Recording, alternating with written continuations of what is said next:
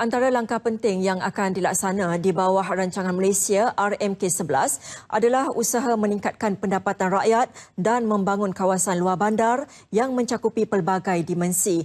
Menurut Timbalan Menteri Hal Ehwal Ekonomi Dr. Muhammad Razi Jidin, empat strategi utama akan dilaksana bagi meningkatkan pendapatan dan taraf sosioekonomi isi rumah berpendapatan 40% terendah B40 terutama di kawasan luar bandar. Antara empat strategi strategi itu ialah pembangunan modal insan dan guna tenaga dengan mengurangkan kadar keciciran pelajar dalam kalangan B40 termasuk menarik pelaburan ke kawasan B40 untuk mencipta peluang pekerjaan.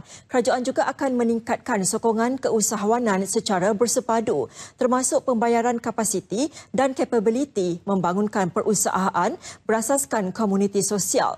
Malah kerajaan juga akan meningkatkan pemilikan kekayaan dengan menggalak golongan B40 untuk turut serta dalam pelaburan seperti amanah saham gemilang, amanah saham wawasan dan amanah saham tanah bumi putra.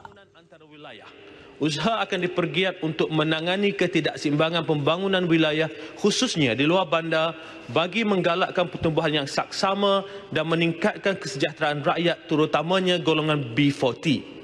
Dalam pada itu, penekanan akan turut diberikan dalam aspek perubahan minda dan pembentukan sifat peribadi unggul supaya B40 mempunyai sikap berdikari. Beliau menjawab pertanyaan Ahli Parlimen Nibong Tebal, Datuk Mansur Osman.